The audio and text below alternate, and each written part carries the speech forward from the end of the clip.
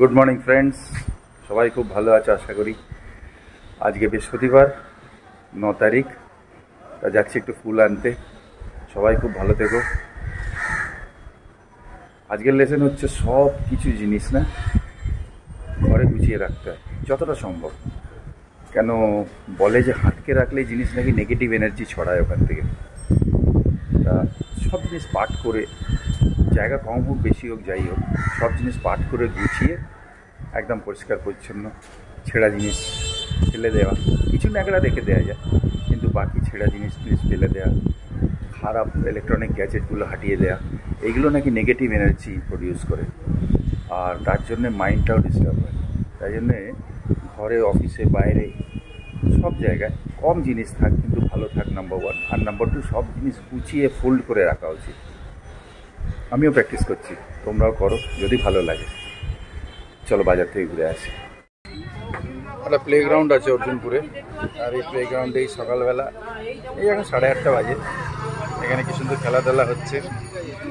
একদিকে এখানে খেলা হচ্ছে, আর একদিকে এই রাস্তার এপারে বাজার। যে যা নিজের ব্যস্ততার মধ্যে রয়েছে। কেউ বাজার করছে, কেউ বাজার বেচছে, আর কেউ এক্সারসাইজ করছে কেউ খেলা করছে। কি সুন্দর। আমি এলাম ফুল নিতে। তা একটুখানি এটা নিয়ে নিলাম ভিউটা কেন? ফুলওয়ালার ওখানে বেশ ভিড়। দেখছি। তাই জন্য আমি ভাবলাম এই যে সামনে ফুলওয়ালা এখানে একটু ভিড় আছে বলে আমি টুক করে একটুখানি এইটা নিয়ে নিলাম। দেখি এখন খালি হয়েছে। বলব। আজকের ব্রেকফাস্ট চা ব্রেড কলা আর এইটা এনেছিলাম। আর নারকলের ওইটা মায়ের জন্য। পায়েস পায়েস আর এইটা। এই দুধ। কিশমিশ দেয়া। এইচডিএফসি ব্যাংকে এসেছিলাম। এইচডিএফসি ব্যাংক জোড়া মন্দির। একটু কাজ আছে। ব্যাংকে এসেছি একটু বসে আছি। একটু কাজ আছে ম্যানেজার কেবিনে এইচডিএফসিতে দেখা যাক। তাড়াতাড়ি হয়ে যাবে কাজ। বন্ধুরা আমি এখন খেতে বসে গেছি। আজকে হচ্ছে কুমড়ো ভাজা ডাল চাটনি আর লাউয়ের তরকারি। হ্যাঁ, তোমরা ভালো থেকো সবাই। খাওয়া দাওয়া করো। জয়গুরু অনুসার। হ্যালো। বন্ধুরা আজকে আমি আমার একটা ছোটোবেলাকার গল্প বলছি। হ্যাঁ খুব ছোটোবেলা সাত বছর বয়স। তখন আমার হাওড়ায় হচ্ছে আমাদের বাড়ি। তা হাওড়া থেকে আমি মা বাবার সঙ্গে এখানে শ্যামবাজার শ্যামবাজারে হাতিবাগানে আসি আমার দিদির বাড়ি। দিদির বাড়ি বেড়াতে এসেছি ওখানে আলতা টালতা পরিয়ে দিয়েছে খুব খাওয়া দাওয়া হচ্ছে। ওই সময় আমি কত বয়স? হুম তখন আমার বয়স ছিল হচ্ছে সাত বছর। সাত বছর বয়সে ওখান থেকে বেরিয়ে আমি ভাবছি আমার বৌদির বাড়ি গ্রে স্ট্রিট। আমি গেছিও। সেখানটা আমি জানতাম, মনে আছে একটু একটু। সেখানে আমি যাব বলে বেরিয়েছি। বেরিয়ে ট্রাম লাইন পার হয়েছি, পার হয়ে ওপাশে গেছি, গিয়ে গলিতেও ঢুকেছি। গলিটা ঠিকই ছিল, কিন্তু আমি গলিতে ঢুকে আর চিনতে পারছি না। তখন গলিতে ঢুকে আস্তে আস্তে আস্তে আস্তে ভয়ে ভয়ে এই বাড়ি ও বাড়ি করে একটা রকে একটা সামনে একটা বারান্দা মতন ছিল, সেখানে বসে খুব কান্নাকাটি শুরু করে দিয়েছে, হাঁ করে। ছোটো তো, বুঝতে পারছি না কি করব। তারপর এক ভদ্রমহিলা দরজা খুললেন খুলে বল তোমার কি হয়েছে? কি হয়েছে? আমি কান্নাকাটিকে আমি হারিয়ে গেছি, আমি হারিয়ে গেছি, এই বলছি। হ্যাঁ তারপর ওনারা ঘরে নিয়ে গেলেন।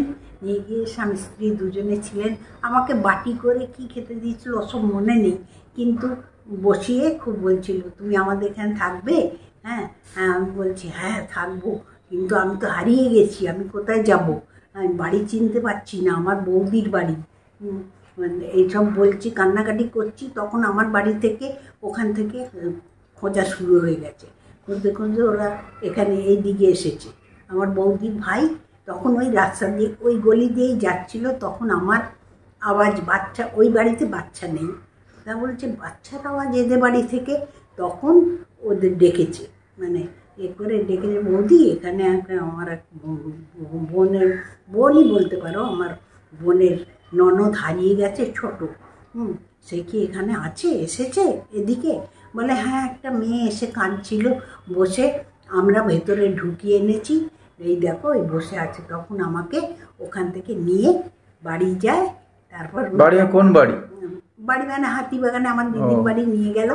ওরা চাইছিল যে আমাকে নেবে কেন ওদের বাচ্চা নেই বাচ্চা ছিল না। তাই চাইছিল তারপরে আমার বাড়িতে কথা টথা বলেছিল এরা তো দিল না। যাই হোক এইটুকু কাহিনী আমার এইটুকু মনে আছে। কিন্তু আমি তোমাদের সঙ্গে শেয়ার করলাম ভালো লাগল ভালো লাগলে বলো হ্যাঁ। যাক এটাই মা অনেকদিন পরে কথা বলল। পরে সাত বছর বয়স ছোট ছিলাম কিন্তু একটু একটু মনে আছে সব কিছু হ্যাঁ যাই হোক তোমাদের ভালো লাগলে আমারও ভালো লাগবে। জয় গুরু ওম সাই হ্যাঁ গুড ইভিনিং ফ্রেন্ডস অ্যাকচুয়ালি সকালে একটা টপিক নিয়ে আমি বললাম না ছোট্ট করে ওই বাজারে যাওয়ার সময় যে জামা কাপড় গুছিয়ে রাখা উচিত কেন? জামা কাপড় আর বেড আর যে কোনো জিনিস বইপত্র বা কিছু আম, এই সবগুলো যদি গুছিয়ে রাখা যায় তাহলে পজিটিভ এনার্জি ফ্লো করে। ঘরের মধ্যে অফিসে বা নিজের ওয়ার্ক প্লেসে বা যেখানেই, যেখানে কাজ করেন, সেখানে। তা এইটার ব্যাপারে আমি শুনেছিলাম অ্যাকচুয়ালি সদ্গুরুর থেকে। সদ্গুরুর একটা এতে এপিসোডে উনি বলছিলেন যে, রুদ্রাক্ষের মধ্যে পাওয়ার আছে নেগেটিভ আর পজিটিভ এনার্জিটাকে ডিটেক্ট ডিটেক্ট করা, রুদ্রাক্ষ যেটা থাকে। ওই সুতোর মধ্যে একটা বেঁধে রুদ্রাক্ষটা নিচে থাকবে। তা কি করেছিল? একটা কাগজ কাগজ নিয়ে একটা নর্মাল কাগজ পেপার সেটাকে রেখেছে, তার উপর রেখেছে। আর যদি সেটা পজিটিভ এনার্জি হয়, তাহলে রুদ্রাক্ষটা এরম ক্লক ওয়াইজ ঘুরবে মানে ঘড়ি যেদিকে ঘোরে। এরমভাবে হালকা হালকা ঘুরবে। আর সেই কাগজটাকেই আবার কিছুক্ষণ পরে আবার মুছড়ে দিয়েছে। রিঙ্কলস করে দিয়ে ওটাকে রেখেছে। তারপরে ওই রুদ্রাক্ষটাকে এই পেন্ডুলামের মতো ধরেছে। ওইটা অ্যান্টি ক্লকওয়াইজ ঘুরছে তখন মানে ঘড়ির অপোজিট ডাইরেকশানে ঘড়ি, ঘড়ির কাঁটার অপোজিট ডাইরেকশানে তা রুদ্রাক্ষের মধ্যে স্পেশাল পাওয়ার আছে যেটা নেগেটিভ বা পজিটিভটাকে বুঝতে পারে। ধরো কোনো জল আছে, জলের মধ্যে নর্মাল জল নর্মাল জলের উপর রাখলে সেটা ক্লকওয়াইজ ঘুরবে। আর যদি ওতে কেউ এক ফোঁটাও পয়জন মিশিয়ে দেয় মানে বিষ মিশিয়ে দেয় হ্যাঁ যেটা কি টেস্ট আর স্মেল থেকে বুঝতে পারবে না, সেটার ওপর রাখলে ইমিডিয়েটলি ওটা অ্যান্টি ক্লকওয়াইজ ঘুরবে। তা, সেই কথাটা এরমভাবে এসেছিল। আমার মাথায় তখন ঢুকেছিল যে আমার কাছে জায়গা কম থাকলেও বা ঘরে বা অফিসে বা যেখানে, কিন্তু জিনিসগুলো যেন গুছিয়ে রাখা হয়। তাতে পজিটিভ এনার্জি ফ্লো করে। এইটাই মেন পারপাস ছিল। আর রুদ্রাক্ষের মালা পরে থাকে মানুষরা।